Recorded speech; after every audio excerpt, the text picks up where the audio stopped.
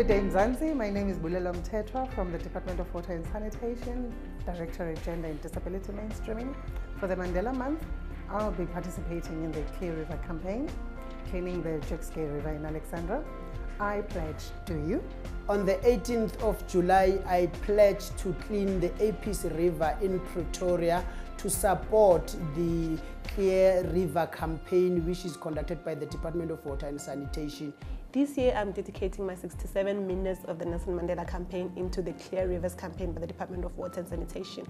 I pledge to clean the Apies River in Pretoria CBD as part of this campaign. My name is Nisha Ruplal from Directorate Integrated Water Resource Management Support.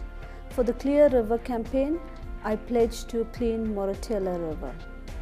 Hi everyone, my name is Rifilo Mbata from the Department of Water and Sanitation, Directorate Water Use Efficiency. For Clear River campaign, I pledge to clean Moreleta River.